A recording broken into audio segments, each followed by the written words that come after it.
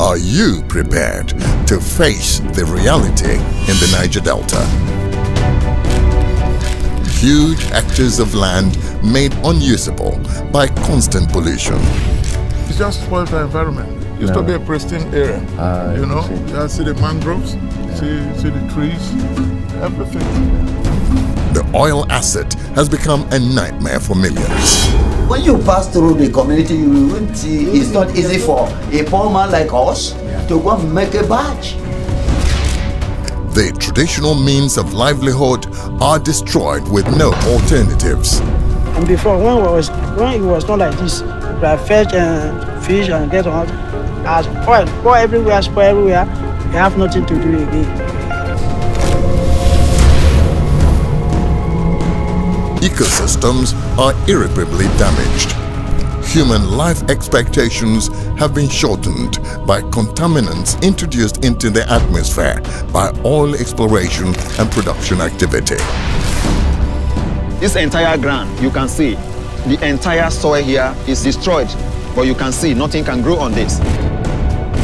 Agitations and agitators now characterize the character of the oil-producing peoples.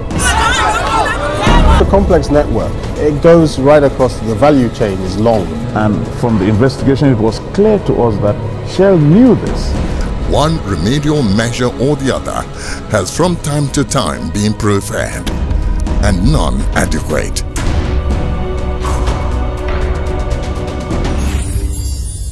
But finally, the remedy is here. The Hydrocarbon Pollution Remediation Project, HYPREP. What is HYPREP? a body of environmental technocrats funded by the federal government and international agencies to clean up the environmentally devastated areas of the Niger Delta. Now at last, the oil-producing peoples can breathe an air of relief.